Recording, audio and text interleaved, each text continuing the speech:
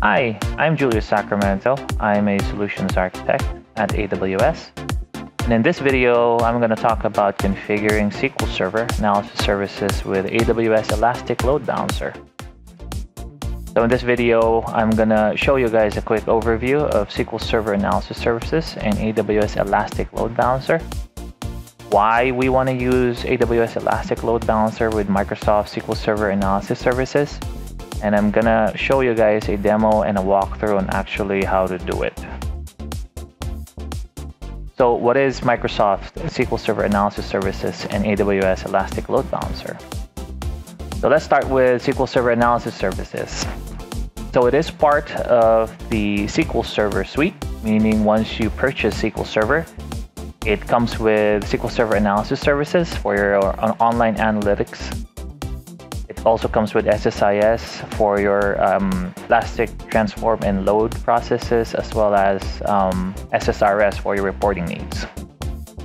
So SSAS is an analytical data engine used in decision support and business analytics.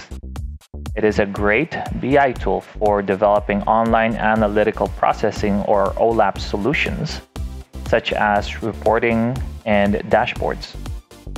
It enables users and analysts to create cubes by extracting data from other databases, data marts, or other data warehouses, thereby ensuring profound and swifter analysis.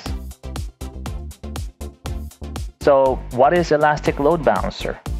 So, AWS Elastic Load Balancer basically distributes incoming application or network traffic across multiple targets such as Amazon EC2 instances, containers, and IP addresses in multiple availability zones. So what are the benefits of using AWS Elastic Load Balancer? So using AWS ELB increases the availability and fault tolerance of your applications. You can add and remove compute resources from your load balancer as your needs change without disrupting the overall flow of requests to your applications. You can also configure health checks, which are used to monitor the health of the compute resources so that the load balancer can send and route traffic only to the healthy ones. So there are three types that's supported in AWS Elastic Load Balancer. The first one is the application load balancer, which operates at layer 7. It is best suited for load balancing HTTP and HTTPS traffic, which is basically your web application or web service.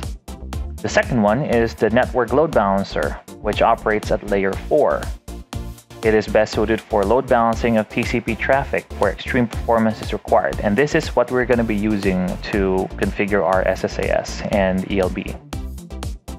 The last type is the classic load balancer, which provides basic load balancing across multiple Amazon EC2 instances and operates at both the request level and connection level.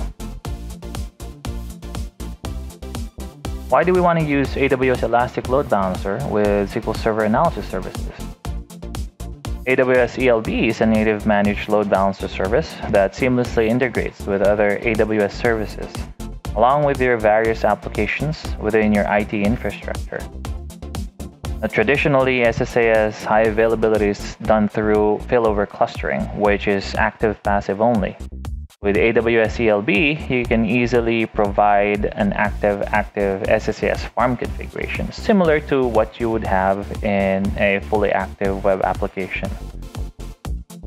Now, the ease and straightforward configuration and setup of ELB allows you to focus more on your application needs. So in this case, SSAS. So now I'm gonna do a quick demo and walkthrough on how to actually do SSAS and ELB configuration.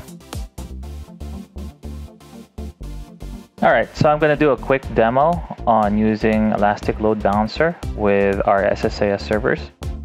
Um, in our VPC, we can see that we can we can actually see the two SSAS servers that we're going to be putting behind the load balancer. And then we're going to go ahead and actually use our jump server, which is this one, to essentially access the, and manage the two SSAS servers. So let's go ahead and RDP into our jump server. So within our jump servers, um, here we can actually uh, manage our SSAS servers utilizing uh, Management Studio. As you can see, I'm gonna go ahead and connect to our one, of our SSAS servers. And let's go ahead and do another connection to our second SSAS servers. As you can see, both already have a, a tabular configuration with a, a, database that's ready. Okay, so now let's go ahead and set up um, an elastic load balancer. All right, so let's go here to load balancer and let's go ahead and create one. So to do a, an elastic load balancer configuration, we need to do an NLB um, on a specific port. Okay, so let's go ahead and name that um, SSAS ELB. And then um, specifically for SSAS configuration, we're going to be using port 2383, which is a default port um, for SSAS.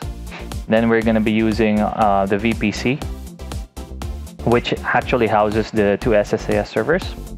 And then we're going to choose an internal facing. We have to make sure there it's an internal facing elastic load balancer and we're going to choose the subnet where the two um, SSAS servers reside.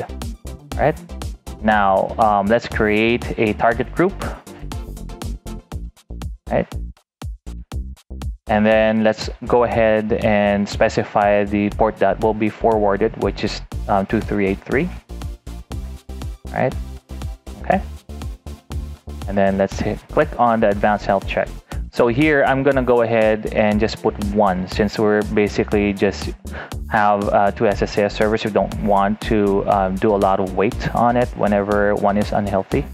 And let's do an interval of 10 seconds. All right, um, two actually. And then let's do register target. And then here we just need to choose the two SSAS servers that we want to register. All right, so these are the two SSAS servers and then we'll hit next, review, and hit create. All right, so this might take a bit of time to create, so I'm gonna pause the video right here. All right, now as you can see, we actually have the Elastic Load Balancer up and active, right? So if you wanna go and look at the health status of the targets underneath the load balancer, you can go to target groups. And from here, you can look at the target uh, tab and you would see the um, instances that we have behind the load balancer. As you can see, um, the evaluation is healthy. So what that means is um, all the connections are going to be actively load balanced between the two based on demand and capacity, right? Okay, so now let's go back to our uh, jump server. Now that we have the Elastic Load Balancer, let's go ahead and copy the information of the load balancer. So we're going to go ahead and copy this DNS name, which is essentially what we're going to be using to connect to our SSAS servers. Okay. So here, let's put our DNS name, connect. And as you can see, we're connected to the load balancer. And now the load balancer is routing on to one of the servers, right? That's part of what it's basically balancing. Now, what we're gonna do is we're gonna do a quick validation. Let's do a quick query. And then what we're gonna actually query is where we're being routed, okay? So now let's run this query and see. And as you can see, we're actually being routed to the secondary server here. So what we want to go ahead and test is how um, load the load balancer would actually act once one of the servers goes down. So in this case, let's try to go ahead and shut down SSAS2, right? Go ahead and shut that down. Right? And then let's go back to our load balancer here. Because again, as I said, if you go to target groups, you can look at the, um, the health of the servers. Now it takes a bit of time um, to reevaluate the instances. So let's go ahead and pause the video real quick.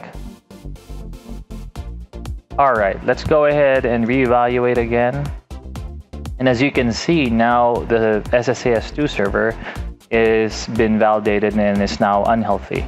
Now let's go back and let's do another query. Right, let's go ahead and uh, run the query again. So this is expected because the connection was lost. Um, let's go ahead and run the query again to reestablish connection. Now we see that we're now being routed to SSAS1. So that's basically it. So in summary, AWS Elastic Load Balancer allows you to easily create and configure a fully active SSAS farm. Thank you.